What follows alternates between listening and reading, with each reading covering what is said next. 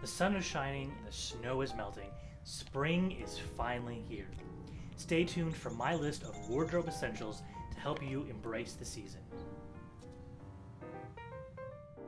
I'm Piper Williams and this is My 1928. If you're new to this channel, make sure you hit that subscribe button. That way you don't miss any future content. Number 1. Spring Sport Coat. This is a great time to wear bolder patterns brighter colors. Look for lightweight, breathable fabrics like cotton and linen. Additionally, check the lining of your coat. Little to no lining makes for a cooler coat. Many of these can be worn straight through summer. Number 2. A lightweight sweater. Winter may be over, but a light layer can go a long way to help you transition to warmer days.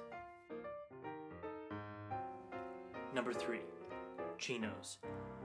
These are easily one of my favorite spring wardrobe essentials, not just because they come in so many different colors, but also because I can wear them straight through the end of summer.